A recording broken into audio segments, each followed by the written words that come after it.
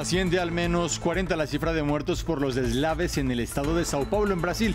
Los desaparecidos se cuentan por decenas, mientras cientos de rescatistas buscan por supervivientes en una tragedia que enluta las celebraciones del carnaval. Ya está en Chile el equipo italiano de expertos que va a investigar los incendios que han causado estragos en el país y se han cobrado la vida de 25 personas, así como han calcinado más de 400 mil hectáreas. El gobierno estima que el 25% de las conflagraciones son intencionales. Tenemos reporte desde Santiago. Hay un tercer caso en el mundo que ha conseguido curarse del VIH. Se lo conoce como el paciente de Düsseldorf y superó el virus gracias a un trasplante de células madre para tratar una leucemia.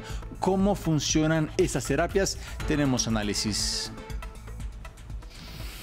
Nueva emisión informativa aquí en la pantalla de France 24. Estas son las noticias más destacadas del continente americano. Mi nombre es Juan Pupiales.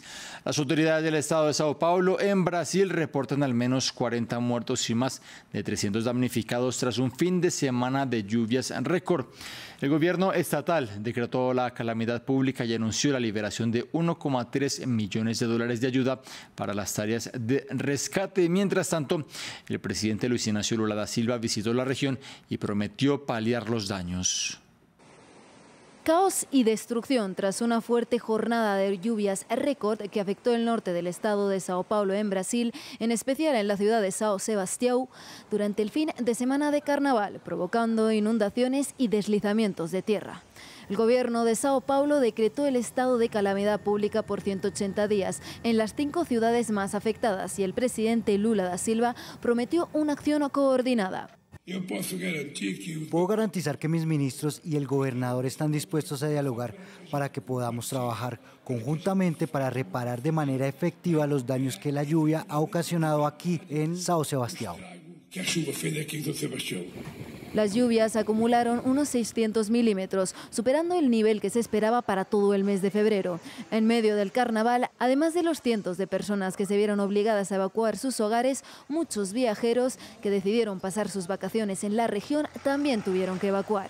Desastre por el que el gobierno local ya ha anunciado el desembolso de alrededor de un millón y medio de dólares para las tareas de rescate y reconstrucción.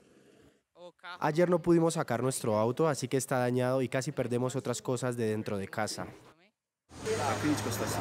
La situación está crítica, solo tenemos una salida para ir hacia Sao Paulo. Está todo inundado.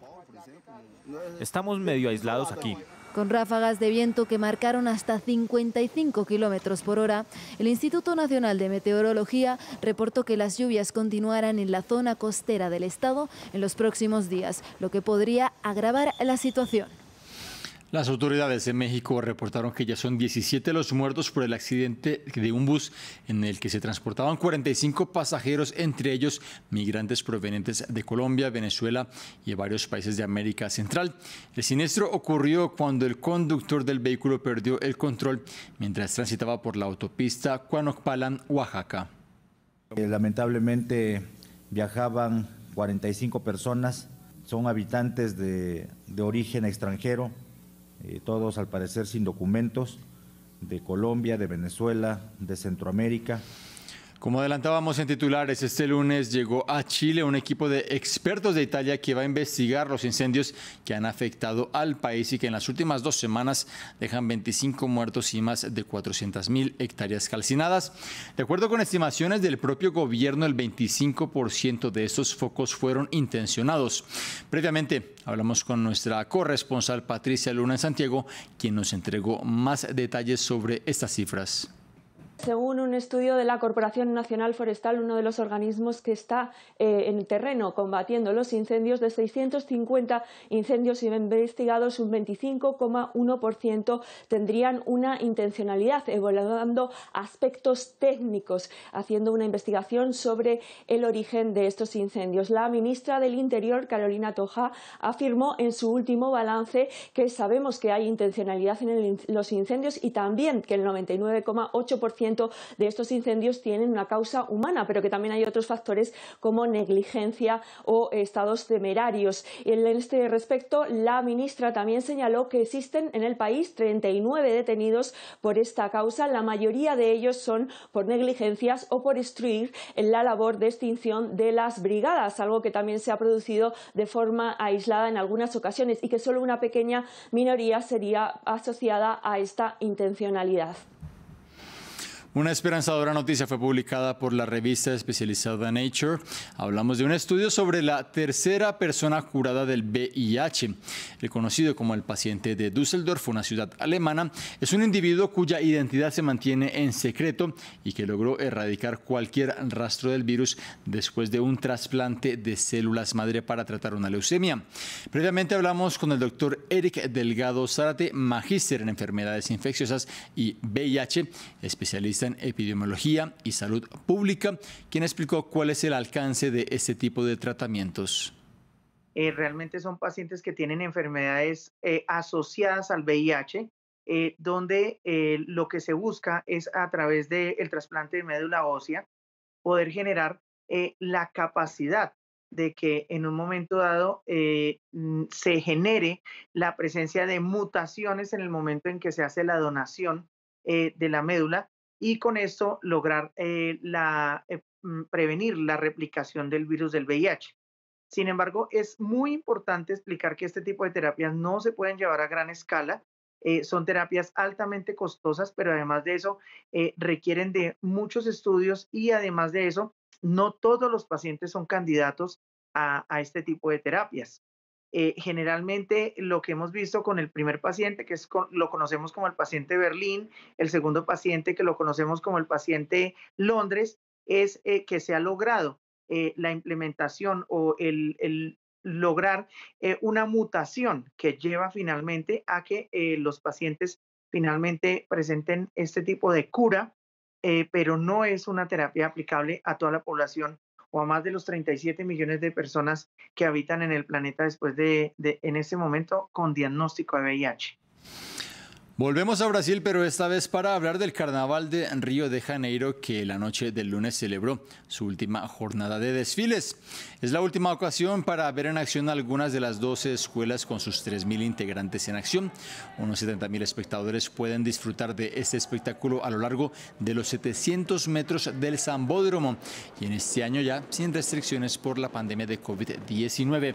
La escuela ganadora la vamos a conocer este miércoles. Fuera de Brasil, en Colombia y Bolivia también son días de mucha fiesta. Nuestro compañero Max Pérez Gallardo nos lleva por este recorrido. La región del color. Febrero, mes de carnavales para América Latina, celebra la diversidad que nutre a los pueblos. Este año, las complejidades políticas de la región también se asoman en la fiesta y muchos artistas están aprovechando el espacio de los carnavales para expresarse políticamente. En Brasil, las tensiones originadas por el proceso electoral que el país vivió recientemente han salido a flote en esta edición. Es una doble alegría porque somos libres de nuevo, con toda la libertad de expresión y peleando por nuestros derechos para que todos seamos iguales.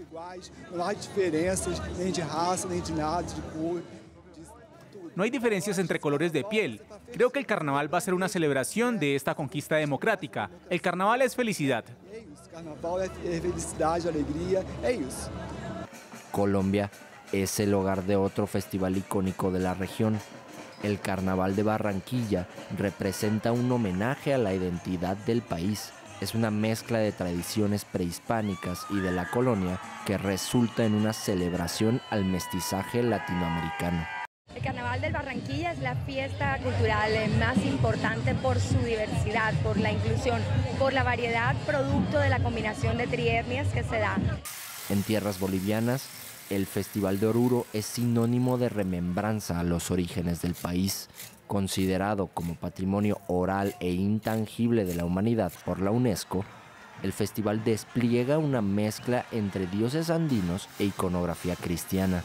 Río, Oruro, Barranquilla, tres palabras sinónimo de una explosión de colorido, mezcla de razas y de patrimonio cultural. que cada año atraen decenas de miles de turistas.